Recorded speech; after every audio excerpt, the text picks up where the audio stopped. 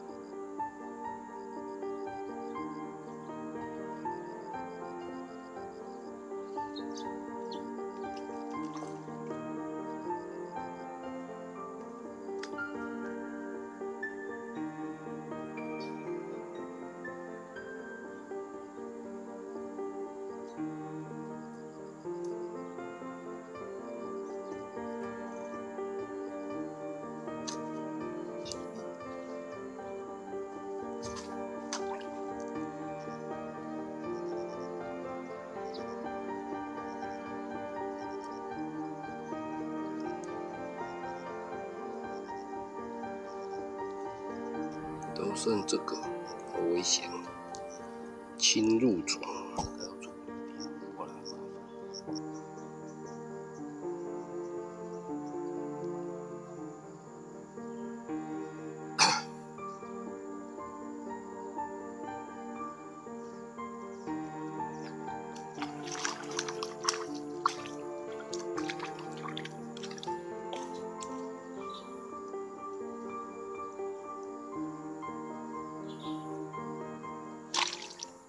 呃，尝试了这个不同的这个角度来钓鱼。一开始的话是俯角钓鱼，那这个俯角钓鱼的话呢，它其实摇况就是还好。然后呢，再来就是水平钓鱼，后来这个讯号呢出现的还蛮多的。然后再来是短竿，短竿水平钓法跟短竿俯视钓法，反而短竿俯视钓法的摇晃比较好。那这个可能推算来看的话，可能跟这个很多因素有关，所以没有绝对。有可能是因为水色的关系，那当天钓的水色其实它不是很清澈，所以其实我觉得角度高还是低，其实影响有限哦。但是如果你到野溪，如果说是一个非常清澈的溪流，那这时候呢？钓的话呢，如果说你是坐在高处往下钓，尤其是那种固床哦，你从上面往下钓的话呢，其实有时候摇晃呢反而是很差的哦。为什么呢？因为其实水清澈的时候，鱼在下面，它的这个角度哈，鱼的视角，它其实可以看到哦，可以看到你，经由光线的折射之后，它可以看到你，所以呢，它就对你有所警惕。尤其再加上说水很清澈，所以鱼看得很清楚。因为鱼的视野相对来讲是比较广的哈，虽然它比较没有那么立体，但是它是比较广角是广角性的哈。如果说是这个钓的话怎么办？就是要么你就是钓这个水流下去的时候的这个地方，哦，就是在固床的下方，或者是说是在离你比较远的地方，哦，那不然的话，其实最佳还是。下去水水面跟它平行钓哦，这样相对来讲的效果也会比较好哦。所以这个那为什么当天在钓的时候用短竿钓法比较好？我在推测可能是这边的钓客可能他们会有习惯性，可能钓饵都会固定在它的脚边，所以鱼就会过来偷偷捡食。那再加上说我用的钓组是比较轻的，所以它警警戒心会比较低，所以自然来咬况就会比较好。所以反而短竿呢，它获得的这个鱼获呢，反而是最多的哦。相对来讲呢，也是很多这个出其不意的这个鱼啊。那这个就是这一次的这个试验的结果，这样的哦。这个有待去探讨吧。好了，那我们下回再见，拜拜。